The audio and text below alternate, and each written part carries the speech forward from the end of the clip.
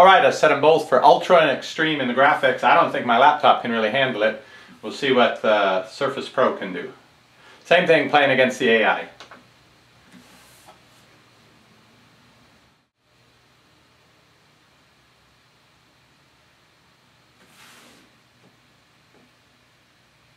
Ooh, it is choppy, choppy.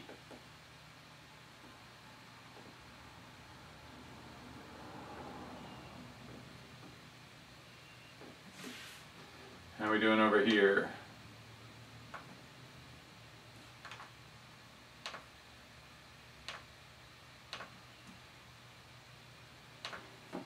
Frame rate staying at about 12 here, 15, 16 here. They're both obviously having a hard time with it. And there's really not a lot going on. Zoom in, does it make any difference? No? Oh yeah, slowed it down.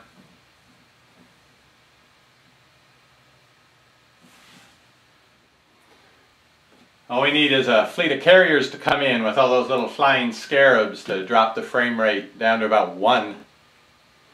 Well, that's what it'll do. I'm not going to make it wait until we get the enemy to come in and attack. Obviously, that's going to drop it down to really unplayable frame rates.